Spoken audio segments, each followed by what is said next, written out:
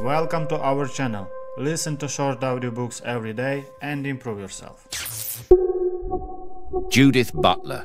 Who's afraid of gender? Gender.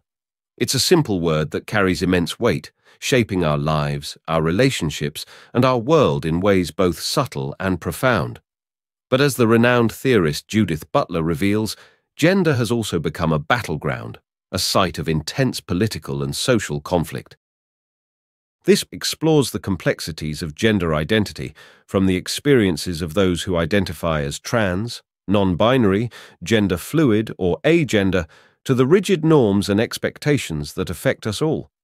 The author challenges you to question your assumptions around the concept of nature or nurture and to consider how fears and anxieties around gender are being mobilized in the current moment. You'll learn about the disturbing links between the current backlash against gender diversity and the rise of authoritarianism. From the MAGA movement on the right to exclusionary feminists on the left to conservative religious movements around the globe, Butler traces the ways in which fears and anxieties around gender are being weaponized by those seeking to consolidate power and roll back hard-won civil rights. So come along on this exploration of the idea of gender itself and discover why the conversation is more urgent and vital than ever before. Gender as a battleground. Across the globe, gender has become a flashpoint of political and social conflict. It's cast as a danger to children, a threat to national security, and an attack on the very foundations of society. In the eyes of its opponents, gender diversity is nothing less than a plot by elites to impose their cultural values on everyone else, a scheme for colonizing the global south by the urban centers of the global north. The Catholic Church, under the leadership of Pope Francis, has been a vocal opponent of what it calls gender ideology. In his rhetoric, the teaching of gender theory is portrayed as a danger on par with nuclear weapons, a force that threatens the very existence of humanity. This view is echoed by conservative religious movements around the world, which see gender diversity as a direct challenge to their beliefs and ways of life. In the United States, the rise of the MAGA movement and the shaping of the Supreme Court by the former Trump administration has given new power to these efforts. Policies such as the military's ban on transgender individuals are seen as necessary steps to protect traditional gender norms and roll back the rights of LGBTQ people. At its core, the fierce resistance to gender diversity is rooted in a web of oppressive systems that seek to maintain their power and dominance. The gender binary, with its rigid roles and expectations, serves as a key tool for upholding patriarchy white supremacy, and the power of colonialism.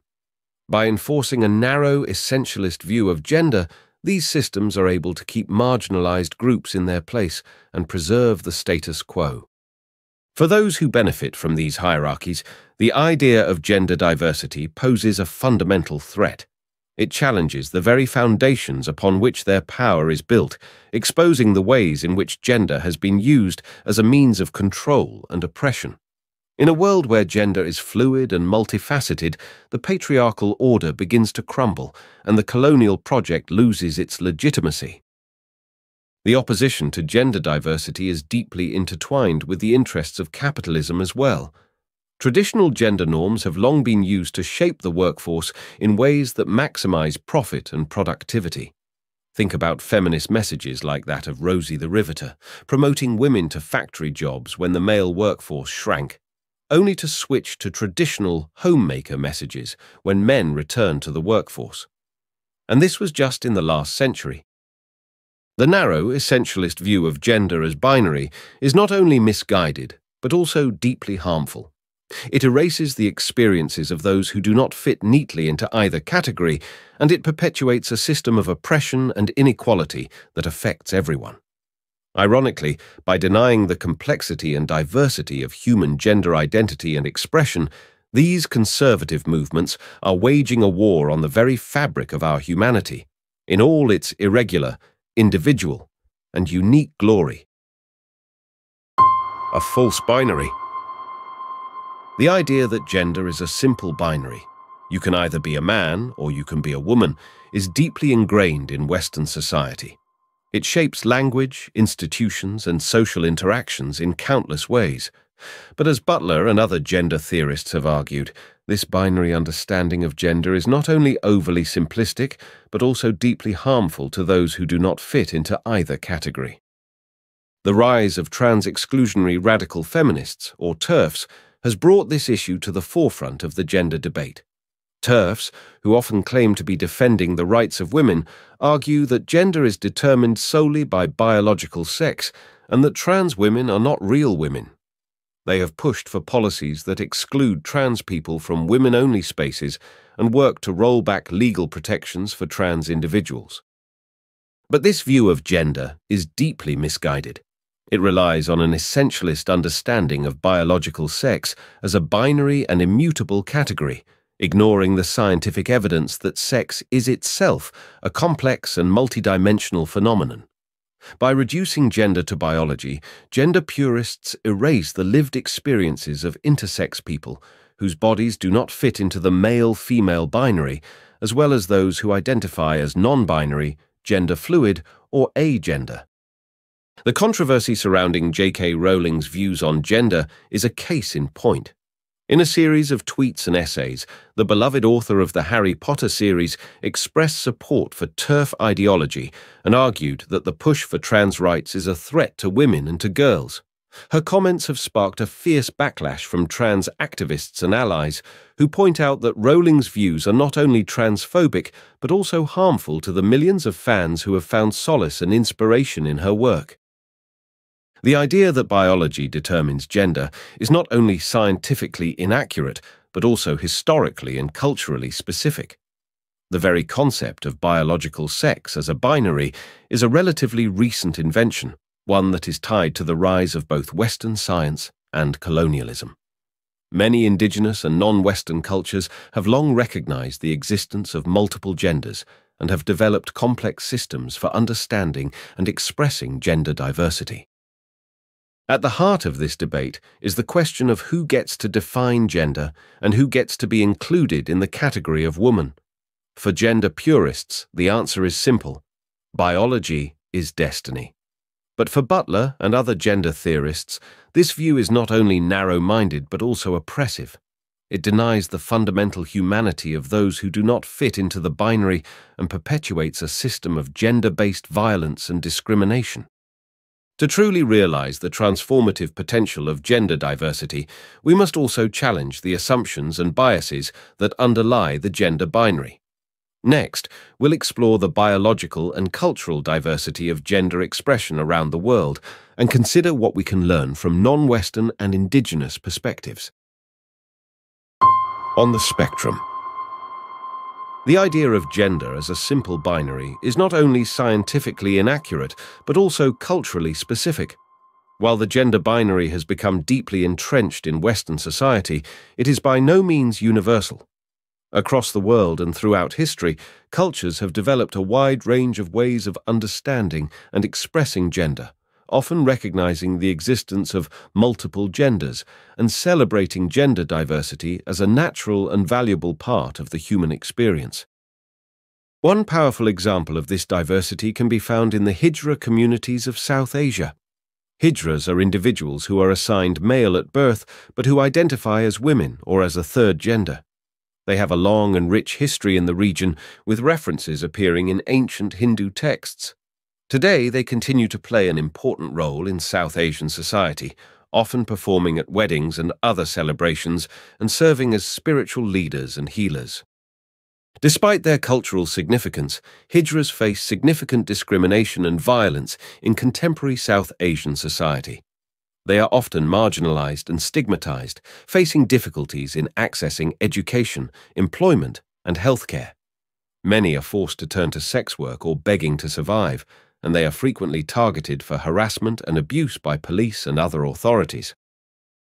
But the existence of hijras challenges the notion that gender is determined solely by biology and highlights the ways in which gender is shaped by social and cultural factors. It also reminds us that the gender binary is a relatively recent invention, one that has been imposed on much of the world through the forces of colonialism and globalization. Indeed, many indigenous cultures around the world have long recognized the existence of multiple genders and have developed systems for understanding and expressing gender diversity. In North America, for example, many Native American cultures have traditionally recognized the existence of two-spirit individuals who embody both masculine and feminine qualities and often fill important spiritual and social roles in their communities. These examples are just a small sample of the vast diversity of gender expressions and identities that exist across cultures and historical periods. By studying and learning from these diverse perspectives, we can begin to develop a more nuanced and inclusive understanding of gender, one that moves beyond the narrow confines of the Western binary and celebrates the full spectrum of human experience. But this diversity is not limited to cultural and social factors. Even at the level of biology, the idea of a simple gender binary breaks down under closer scrutiny. In recent years, scientists have begun to uncover the complex and multidimensional nature of biological sex, revealing that even at the most fundamental level, the categories of male and female are not as clear-cut as once thought. Beyond biology and culture just as a more global and historic perspective sheds light on the rich diversity of gender and gender expression in humanity, so too do the lived experiences of those who fall outside the binary today. For those who identify as transgender, non-binary, gender fluid, or agender, gender is not a fixed or static category, but rather a deeply personal and dynamic aspect of their identity. These individuals often describe a profound sense of disconnection or dissonance between their assigned gender and their internal sense of self, a feeling that can be both psychologically and emotionally taxing. Many trans and non-binary individuals face significant challenges in navigating a world that is often hostile to their very existence. From facing discrimination and violence to struggling to access appropriate healthcare and legal recognition, the daily realities of life outside the gender binary can be daunting and overwhelming. Yet despite these challenges, trans and non-binary individuals also often report a profound sense of joy and liberation in being able to express their true selves and live authentically. By rejecting the constraints of the gender binary and embracing the fluidity and diversity of their own identities, they are able to tap into a deep well of creativity, resilience, and self-knowledge. This complexity and diversity of lived experience points to a fundamental insight of Butler's work, that gender is neither entirely natural nor entirely cultural, but rather a complex co-creation of many different factors. In other words, gender is not something that we are born with or that is imposed upon us by society, but rather something that we actively construct and perform through our interactions with the world around us. This view challenges the notion that gender is a fixed or essential aspect of human identity, and instead highlights the ways in which gender is shaped by a wide range of social, cultural, and political factors. It also underscores the importance of recognizing and valuing the diversity of gender expressions and identities rather than trying to fit everyone into narrow and limiting categories. The implications of this view are profound, not only for our understanding of gender, but also for our broader conception of human identity and social justice. By recognizing the complexity and diversity of gender, we can begin to move beyond the limitations of the binary system and create a more inclusive and equitable world for all. This is particularly important in the face of rising authoritarianism and the ongoing attacks on gender diversity and expression.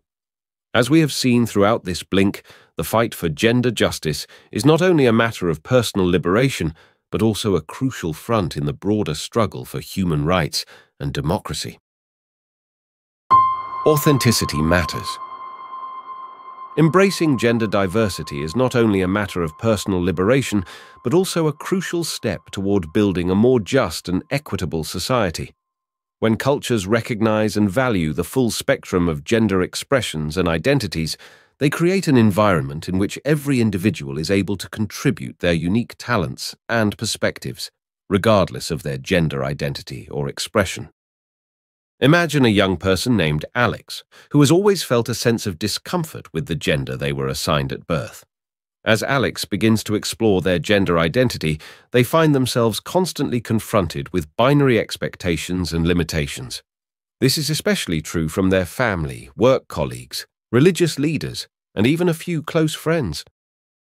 But then, Alex discovers a community of people who celebrate and affirm the full spectrum of gender diversity. With the support of this community, Alex is able to embrace their authentic self and live a life of greater joy and fulfillment, literally feeling comfortable in their own skin for the first time. Now, imagine a workplace where employees of all gender identities and expressions are valued and respected. In this workplace, people are able to bring their whole selves to their work without fear of discrimination or judgment. As a result, the workplace is more innovative, creative, and productive, benefiting not only the individuals who work there, but also the larger organization and society as a whole. Finally, embrace your own authenticity. Take the time to reflect on your own gender identity and expression and give yourself permission to explore and express your authentic self. Remember that there is no one right way to be a man, a woman, or any other gender identity. By embracing your own unique identity and expression, you can contribute to a world that celebrates the full spectrum of human diversity. The main takeaway from this Who's Afraid of Gender by Judith Butler is that gender is a complex and fluid aspect of human identity, shaped by a wide range of biological, social, and cultural factors and not a fixed or binary category. By understanding the rich diversity of gender identities and expressions that exist across cultures and throughout history, we can challenge our assumptions and develop a more inclusive approach to gender justice. However, it's crucial to recognize how gender is being weaponized by authoritarian movements to roll back hard-won rights and freedoms, and how gender oppression is deeply linked to other forms of systemic injustice. Ultimately, by embracing the full spectrum of gender diversity and working to create a world in which every individual is free to express their authentic self, we can all contribute to a more just and equitable society for all. Thank you.